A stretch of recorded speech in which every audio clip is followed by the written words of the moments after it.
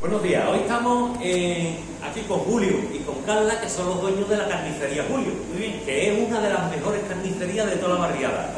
Y comprar aquí, comprar aquí, o por lo menos comprar en, en las tiendas de cercanía, porque Barrio. la atención, la calidad y por el progreso de la barriada y porque esta familia pueda seguir viviendo de esto. Pero yo más que nada quería hoy que Julio nos explicara un poquito qué es lo que dicen aquí la gente de la obra, de la función.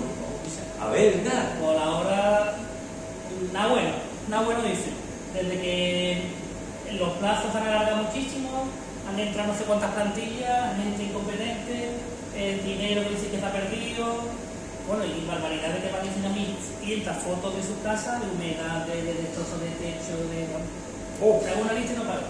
oh. Y eso que no han llegado todavía las lluvias. Eso es, pues están muchos Sí. pisos, están entrando muchas humedades y, y comentan, es que aquí todo el mundo dice, se lo están llevando calentito, ¿no? ¿Cómo, cómo cuentan eso? Porque en, Pues- verdad, en verdad parece que sí, que hay indicios de que aquí hay... Hombre, Pero no hay pruebas, pero mira, la gente puede comentar, que puede decir, ah, que los peces. Sí, por ejemplo, a lo mejor mucha gente dice que hay facturas que no están realmente realizadas, pero que sí se han tenido que pagar y se han firmado. mm, cosas así.